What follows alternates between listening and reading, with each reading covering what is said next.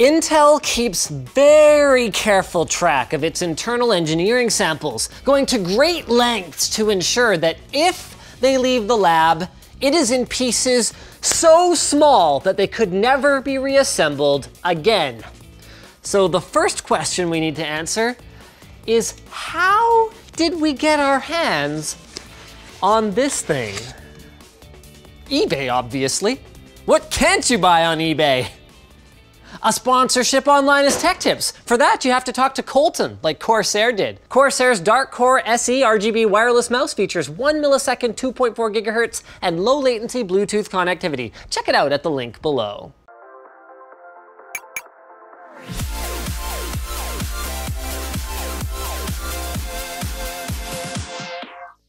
So the seller turned out to have been a contractor at Intel a few years ago who, in the middle of a sixth floor renovation, went dumpster diving through the boxes full of junk that was destined for the e-waste pile. Apparently it was a treasure trove of press samples, laptops, and this GPU looking thing that was noteworthy for being blue instead of green or red.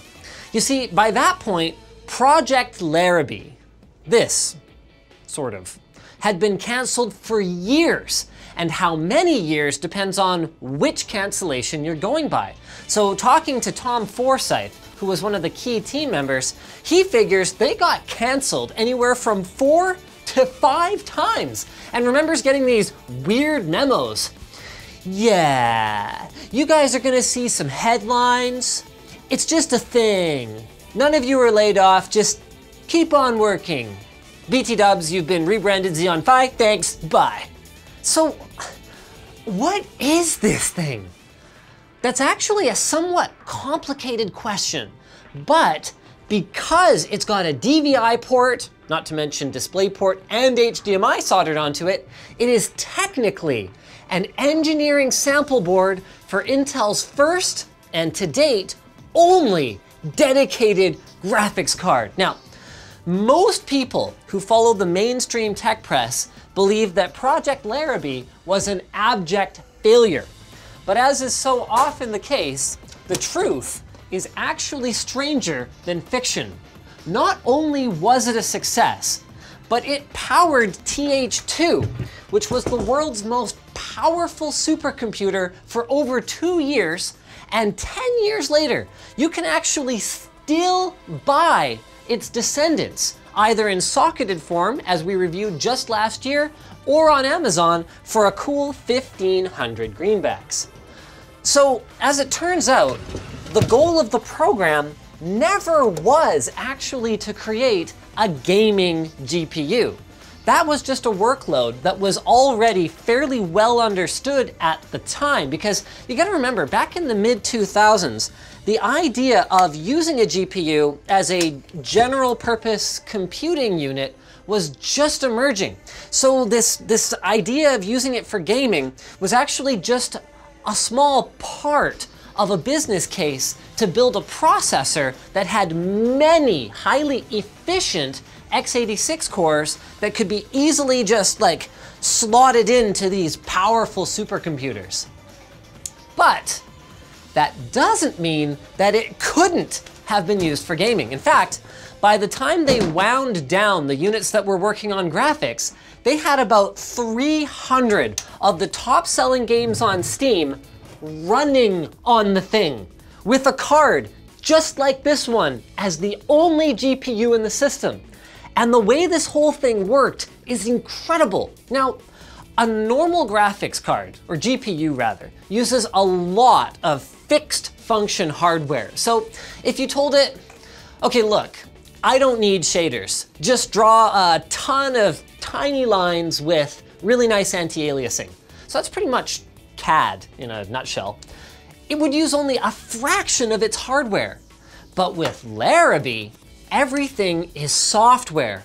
So the whole chip is lit up doing that.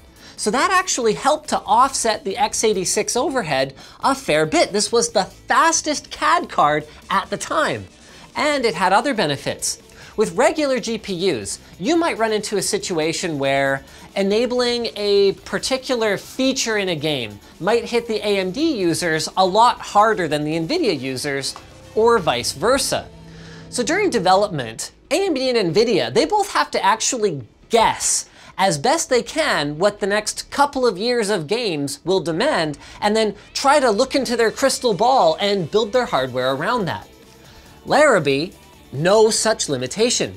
This thing is a full blown computer with up to 61 quad threaded cores running a normal operating system like FreeBSD. Like you could actually telnet into the thing and run a top command and see a list of all the processes that were running on it. And if you were running a game, you'd see, I don't know, 128 or, or 200 processes called DirectX graphics. And you could do that while the thing was working. So if you wanted, you could cordon off some of the cores and use them for something else, or you could just YOLO it and throw another workload into the mix and then just let the processor manage itself. The only non-programmable hardware on this puppy is the texture unit, which takes very simple commands. I mean, wrap your brain around this. The thing that I'm looking at right here is Intel's first ever DirectX 11 GPU. Even though it was built before DirectX 11. So this was possible because all of those graphics card features that are normally running in hardware are just running in software. So you could actually update it to DirectX 11 or DirectX 12 with a driver update. Now, there are some caveats here. I mean, there's a reason that the thing never made it into a computer near you. It wasn't as efficient as a dedicated graphics card for a lot of things. So it only got about a quarter of the performance in games as a, uh, a comparably power consuming card from AMD or NVIDIA at the time. But it was really good at certain graphics workloads for a number of reasons. And I mean, if you think about it, and you look at how far off they were, considering that they were effectively emulating dedicated hardware, it's damn impressive. So, what happened? Well, management happened. Intel at its core, haha, is a hardware company. So they wanted all the features completed so they could either ship this thing or can it. Because in the hardware world, making up a four times difference in performance is impossible, and you might as well just pull the plug. But the team wanted to work on performance optimization instead because in the software world, it's not unheard of to go from like two pixels showing up on a screen and dog slow to a hundred times faster in a week if you have a breakthrough. And it got to the point where they had to have separate teams for performance and for features to get management off their backs. So the performance team actually got Quake running, like really fast. But then they found out that Quake was this weird edge case and the architecture would have to be completely redone. I mean, to give you guys some idea of the dysfunction, at one point, there were three to four software teams with different ideas and working on different rendering architectures. But depending who you ask, the continued development would have been worth it. I mean, imagine this. Instead of turning anti-aliasing on for an entire scene, imagine if a game developer could say, well, you know what? This sky is not important to be anti-aliased. Uh, why don't we just focus all of our AA on, you know, these characters here or this foliage there? Or how about this? Like, uh, oh crap, uh, that texture wasn't loaded. Uh, you know what? Let's just procedurally generate a, a placeholder. Boom!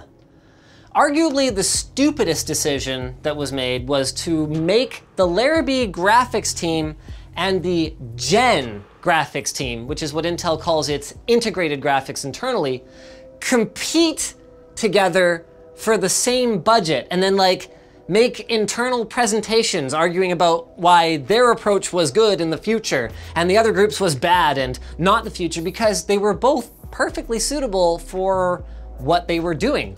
Larrabee was never going to be a five watt part that you could bake right into a CPU and a 200 watt PCI Express part was nowhere on the roadmap for Gen.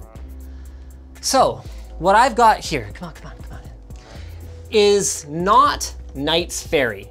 That was the first Larrabee revision that had some deal-breaking bugs. Apparently the saying in the hardware industry is, always plan to make a prototype since you'll end up making one anyway. So this is Knights Corner and probably has anywhere from six to 16 gigs of RAM and up to 62 cores, depending on how many of them had some manufacturing flaws. Should we fire it up? I mean, come on. I wasn't not gonna do that at this point. I spent like $400 on this thing off of eBay. I've got no drivers for it, so it's actually, this is the first time I've turned it on, so it is very possible that it won't manage to display anything, even in 2D, but I definitely have to try. By the way, if anyone out there has the secret sauce drivers or has access to the secret sauce drivers that would make this run games, please hit me up. I mean, assuming that it even works, which we don't know yet. I, I, actually haven't tried this. I wanted to save the suspense for the video. This is like far more POST codes than I'm accustomed to seeing but it hasn't stopped and it hasn't like rebooted. We've got some kind of uh, we've got some kind of LED on here. It looks like it's stalled on D6, but I don't know what that is. Now, when I talked to Tom, he did specifically mention it's got DVI soldered to it. Now, I don't know if that's because DVI was the most relevant output at the time, uh, so that's like what they used internally, or if the DisplayPort and HDMI were just dummies and DVI was the only thing that actually worked. So um, take two, I'm gonna run and grab a DVI monitor and gonna try this again. Like I kind of wonder about, you know, what its PCIe, I mean, would that be even Gen 2 at that point? Like 2000, 2007, 2009? I wonder about compatibility with a new board and stuff like that. You know what, I don't think it's gonna boot. Well, that's pretty disappointing. I thought I might be onto something with the whole DVI thing. Um, I'm just gonna try, I'm gonna try one other slot just to, uh, I think there's only one other one out in the wild and some like Russian collector of like weird hardware has it. Oh, yeah? Yeah. Not you, a different one. Okay, sometimes it hangs on 79 for a bit and then this thing boots. So that might have been a good sign. Oh, no, that's D6 again. I think it's not going anywhere. Well, that was disappointing, but um, I'm gonna let it keep trying while I tell you guys about Massdrop. Oh, I'm like sad. It's like hard to have any energy. Okay, I'm gonna try that again. Massdrop. Massdrop is featuring the Sennheiser PC37X gaming headset. They've got angled drivers and an open back design, and the drivers actually come from the same family as the HD598 and HD600 headphones. They offer superior stereo imaging and locational accuracy, and come with a noise canceling microphone. They're available on Massdrop at the link below for a limited time for just 120 US dollars. So go check them out. So thanks for watching guys. If this video sucked, you know what to do. But if it was awesome, get subscribed, hit that like button. You can especially hit that like button if you wanna make me feel better about how disappointed I feel right now. Uh, or you can check out the link to where to buy the stuff we featured in the video description. Also linked in the description is our merch store, which has cool shirts like this one, and our community forum, which you should totally join. Oh, I really I was really hoping I was just gonna get the screen to light up. That was all I was really, that was all I really wanted.